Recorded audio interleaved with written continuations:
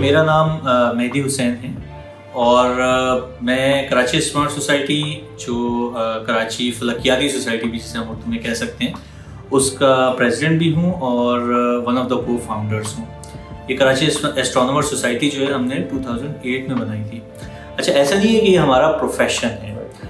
इसमें जितने भी लोग हैं उसमें मेजॉरिटी जो है वो एमेचर्स हैं यानी कि अपने शौक की बिना पर जो है वो एस्ट्रोनॉमी कर रहे हैं। लोगों के साथ मिलकर कराची एस्ट्रोनॉमर सोसाइटी बनाई बल्कि अब ये जहाँ पे हम लोग बैठे हैं इस वक्त ये भी एक ऑब्जर्वेटरी है जो कि 2013 में फिर हमने ये बनाई थी।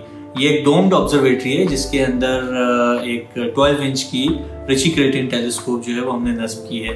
और ये one of the largest observatories में से आप कह सकते हैं पाकिस्तान की है और one of the most active observatories भी है कराची का स्काई बहुत अच्छा तो नहीं है। मैं ये नहीं कहूँगा कि कराची के स्काई से आपको सब कुछ नज़र आता है। हाँ ये ज़रूर है कि जो ब्राइट ऑब्जेक्ट्स हैं जो स्काई में जैसे कि चाँद इसके अलावा जो मेजर प्लैनेट्स हैं मार्स जुपिटर सैटर्न वीनस या यूरेनस ये यहाँ से नज़र आते हैं। इसके अलावा जो कुछ ब्राइट नेबुले हैं, जैसे ओराइन नेबुला हो गया या कुछ और इसी तरह से नेबुले मौजूद हैं मिसियर कैटेलॉग एक है, जिसमें काफ़ी ब्राइट ऑब्जेक्ट्स मौजूद हैं।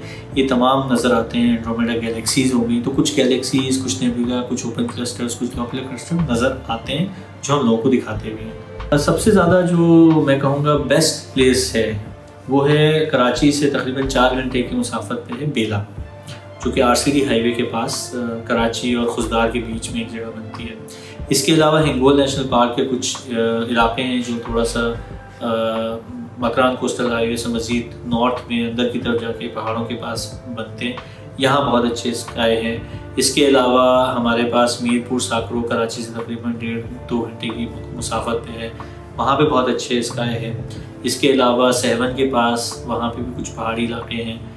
बदरू जबल के नाम से एक इलाका है। वहाँ के स्काई बहुत ज़बरदस्त है। तो तीन से चार घंटे की मुसाफत पे कराची से बलूचिस्तान और सिंध दोनों में इंटीरियर के इलाकों में हमारे पास बहुत अच्छे स्काई मौजूद है। टाइम्स ऑफ़ कराची से जुड़े रहने के लिए हमारा चैनल सब्सक्राइब करें। हमारी वीडियोस को सबसे पहले देखने और बाखबर रहने के लिए बेल आइकन पर क्लिक करना ना भूलें। मेरे हिसाब से देखिए, ये दोनों साइंस और मज़हबी दोनों का मिला के ये मसला है। इसमें किसी एक की सिर्फ़ राय को लेकर चला नहीं जा सकता। बाज़ात ये होता है कि चाँद आसमान पे होता नहीं, जो हम साइंटिफिकली प्रूव कर सकते हैं कि आसमान पे नहीं है। तो अगर कोई उसकी शहादत दे तो हम उसे आउटराइटली रिजेक्ट कर सकते हैं। इसी तरह से मैं ये भी नहीं कहूँगा कि ये मुकम्मल तौर पे साइंस से हल किया जाने वाला मसला है बिकॉज़ बहरहाल ये एक दीनी मसला है और इसके अपने जो कुछ ऐसे सेंसिटिविटीज़ हैं, उसका हमें बिल्कुल ख्याल रखना पड़ेगा। हाँ हम जितना मदद कर सकते हैं, हम कर सकते हैं। हमारी कोशिश होती है कि हम किसी कंट्रोवर्शियल इशू के अंदर ना जाएँ, ताकि हम जो अपना जो हमने एक बेड़ा उठाया लोगों में एस्ट्रोनॉमी की अवेयरनेस का, वो मुतासर ना हो।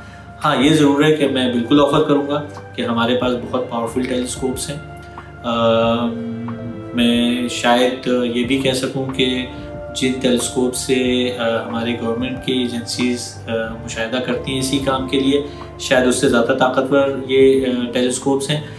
इनको वो इस्तेमाल कर सकते हैं। हमारी तरफ़ से बिल्कुल हम इसको वेलकम करेंगे। अगर इस तरह की कोई हमें पेशकश की जाती है कि अगर वो इस्तेमाल करना चाहें बिल्कुल ये अवेलेबल है। कौम के किसी भी काम के लिए अगर इस्तेमाल की जा सकती हैं मोस्ट वेलकम ये काफ़ी मिलियंस का इस पर खर्चा डेफिनेटली हुआ है। आ, मेरे ख्याल में तीन या चार साल आप समझ लें कि वक्ता फ़वक्ता इस पर मेहनत करके इसको बनाया गया है। आ, तीन बार इसकी जो टेलीस्कोप लगी है ये तब्दील की जा चुकी है।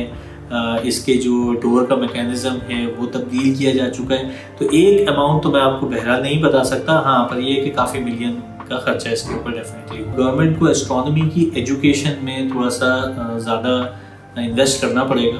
अभी मैं जहाँ तक देखता हूँ कि ज़्यादा जो एस्ट्रोनॉमी पे नहीं, बल्कि स्पेस टेक्नोलॉजी और उसको भी डिफेंस पर्पजेस के लिए ज़्यादा उसमें इन्वेस्ट किया जा रहा है। तो इसलिए कोई ओपन रिसर्च जहाँ पे तमाम साइंसदान मिल के बैठ कर कोई नई रिसर्च कर सकें और ओपनली एक दूसरे से शेयर कर सकें, इस पर अभी मेरे हिसाब से गवर्नमेंट की इन्वेस्टमेंट काफ़ी कम है।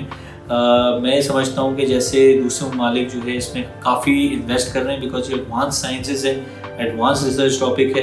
मेरे ख्याल में इसमें गवर्नमेंट को थोड़ा ज़्यादा इन्वेस्ट करना चाहिए। बट ये भी मैं समझता हूँ कि पाकिस्तान का अपना जो है रिसर्च के बजट भी काफ़ी रिस्ट्रिक्टेड होते हैं तो वो देख कर ही खर्च करते होंगे। बट मेरी अपनी अगर ख्वाहिश देखें तो मैं चाहूँगा कि इसमें ज़्यादा से ज़्यादा जो है फंडिंग गवर्नमेंट की तरफ़ से आनी चाहिए, ताकि हम इसमें एक्सेल कर सकें। मेरा, मुझे काफ़ी यकीन है कि यहाँ पर बहुत बड़ा टैलेंट पूल ऐसा मौजूद है, ऐसे लोग शौक रखने वाले मौजूद हैं जो इसमें बड़ा काम कर सकते हैं।